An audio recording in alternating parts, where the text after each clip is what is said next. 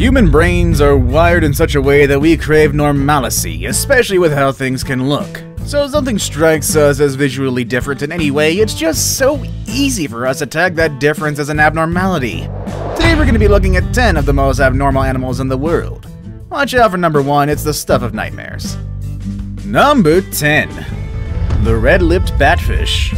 The red-lipped batfish is a deep water fish usually found near the Galapagos Islands, and its defining and admittedly abnormal attribute is its mouth. Big for its body and usually grows to about 25 centimeters, the red-lipped batfish's lips looks like a pair of Twizzlers melting in the sun.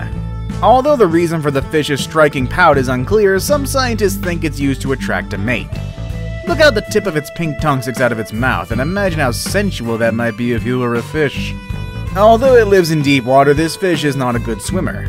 The batfish's body is built like an airplane or a bat, which probably gives it its name. It has both pectoral and pelvic fins, which it uses to scurry clumsily along the ocean floor, and a small fleshy anal fin underneath its tail like a propeller. The underside of its body is covered in bony scales, and its tail is glazed with little thorns.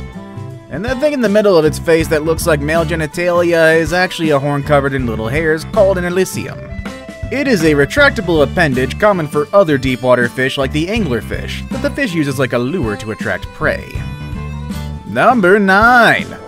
Umbonia spinosa. This uncommon creature has an official name that sounds like one of Harry Potter's spells, but it is sometimes called a tree hopper or thorn bug. This delightfully strange bug has scientists rather baffled as there hasn't been a ton of intense research on them. Though they do believe it to be closely related to the cicada, Though other thorn bugs have a shape that looks like, well, thorns, this one seems to be sporting a strange helmet that appears to be more of a fashion statement than a good camouflage. Like other bugs, they use their sharp mouth parts to pierce plants and stems and suck the sap inside. Because of their unusually sweet diet, like aphids, they produce a sugary excrement which ants really love called honeydew. Because of this relationship, the ants become very protective of their tree hoppers, and if you try to take one away from them, they're gonna attack you. They're sort of like treehopper bodyguards, only with an awkward habit of eating their employer's poop. Number 8. The Hummingbird Hawk Moth.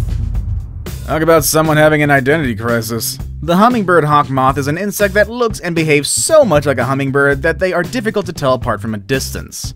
Not only does the moth flit about like a hummingbird, it even appears to have feathers and a tail which are actually elongated hairs. Like its namesake, the hummingbird hawk moth hovers in front of flowers collecting sweet nectar from within.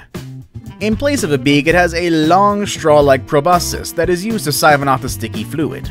At roughly an inch long, this proboscis is nearly the length of the moth's body, so it keeps the appendage coiled up tightly when not in use.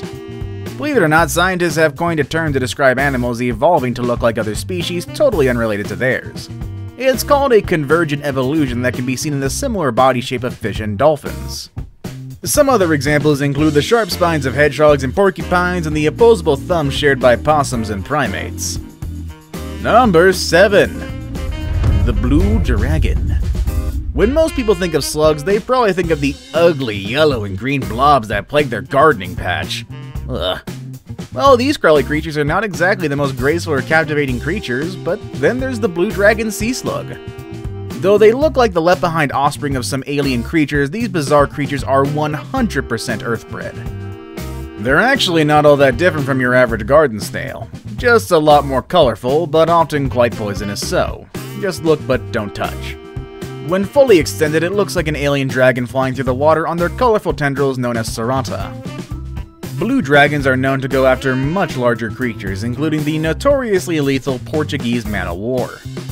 Not only is the blue dragon immune to its sting, it's able to process the man-o'-war's nematocysts, the cells that allow for that creature's deadly sting, and store them in its own extremities. Number 6. The Pacu Fish. Have you ever seen a fish with human teeth? Well, I have in a previous list, and this strange-looking creature is from the Amazon, and oh, it's horrifying to look at. Pacus are a large family of freshwater fish related to the piranha. However, while some species of pacu do look like piranhas, they are actually herbivores and extremely peaceful species of fish. One of the primary differences between the two is that the piranha's teeth are triangular and razor sharp, and the pacu's teeth are more square shaped and human like. And just as terrifying, honestly. These fish can make for some amazing pets. In fact, pacus are also known to develop personalities as they grow older and can sometimes recognize their owners. Their fascinating behaviors make them a popular choice among aquaria enthusiasts. But don't think you can just rush off to any pet store and buy one of these guys. They can get so big they tend to become a handful. An adult pacu can be over 30 inches long and will need to be kept in a pond or an enormous tank. Number 5 the Indian purple frog. These uniquely purple frogs live in the western Ghats of southern India. While their distribution is very limited, this is not the only reason why it took scientists so long to discover them. These frogs spend the majority of their lives underground, only to surface two weeks every year for mating purposes.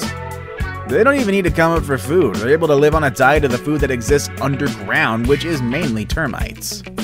These frogs also look as strange as they sound. They always seem like they're bloated or look like they've had a little too much to eat.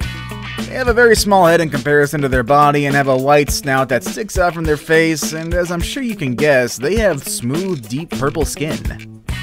Already endangered due to habitat loss, these guys now also face a different kind of danger. They're being eaten to extinction. It's considered a delicacy in its native country of India and is being hunted and consumed at an alarming rate. Eating the purple frogs, or more accurately, its tadpoles, have been a practice in the area for the past 100 years. Number 4. The Shoebill. Dubbed the ugliest bird in the world, the shoebill certainly has what it takes to make it to this list. It looks like a cross between a dinosaur and a bird, and with good reason. Scientists are constantly discovering links between dinosaurs and birds, and the way this bird looks certainly proves that. Shoebills, however, are an ancient species that were quite revered during the ancient times. They're ever present in ancient Egyptian artwork, and ancient Arabs also showed respect for the bird by calling it Abu Markub, which literally translates to father of a slipper. Oh, that is supposed to be a term of reverence escapes me at the moment, but one thing is for sure. Shoebills have always been and will always be named after some kind of footwear. Also, they look terrifying. They look like they're ready to kill you. To accompany those terrifying looks, shoe bills are quite adept hunters. They hunt like total bosses of the swamp. The shoe bill will stand there motionless as a statue and wait for some poor lungfish or baby crocodile to swim by. Oh, and uh, yeah, these these things eat crocodiles, so let, let that let that mental image slip in. And then the bird pounces forward all five feet of it, with its massive bill wide open engulfing its target along with water, mud, vegetation, and probably any other hapless fish minding their own dang business. It clamps down on its prey and the bird will start to swing its massive head back and forth, tipping out whatever stuff it doesn't want to eat. When there's nothing but lungfish or crocodile left, the shoebill will give it a quick decapitation with the sharp edges of the bill and swallow away. Nature's metal. Number 3 the panda ant. And yet another animal with an identity crisis. Panda ants share the same colors and markings as their namesake, the panda, and although they do look cute, they can sting you as painfully as any ant out there. Technically not an ant but a wasp, its colors and patterns are aposematic, warning other predators to stay away. Only the female is wingless, and despite sometimes being referred to as the cow killer ant, its sting isn't the deadliest or painful. This owl belongs to a type of harvester ant that can kill a 2 pound mammal with just 6 stings. These wasps, which can be found in Chile and Argentina, are solitary, do not live in colonies or have nests, and are not aggressive. However, the panda ant is parasitic and lays its eggs on or near other ground nesting insects, larvae, or pupa.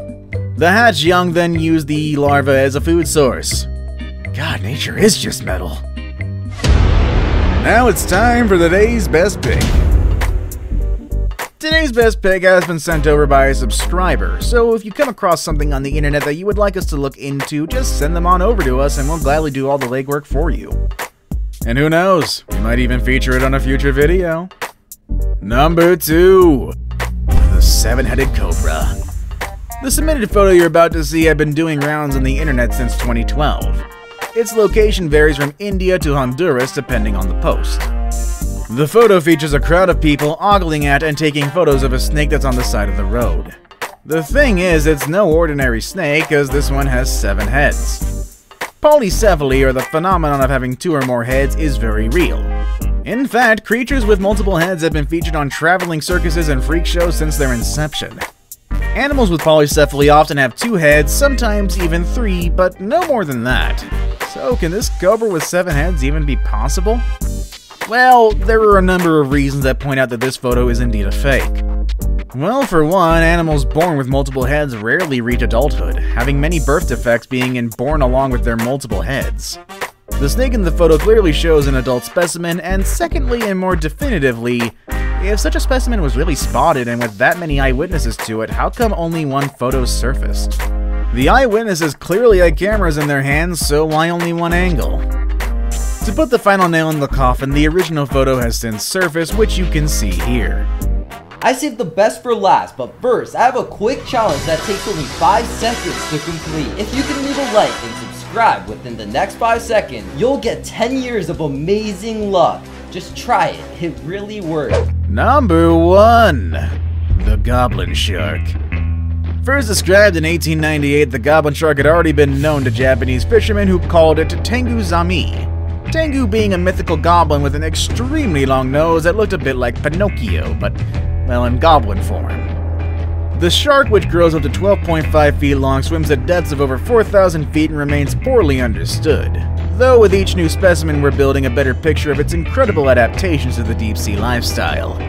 Its most prominent feature, making it look abnormal to us normal human beings, are its highly protrusive jaws packed with needle-like teeth meant to trap and not slice. Sharks are able to protect their mouths in this manner because the jaw is suspended by ligaments and cartilage instead of being fused to the skull.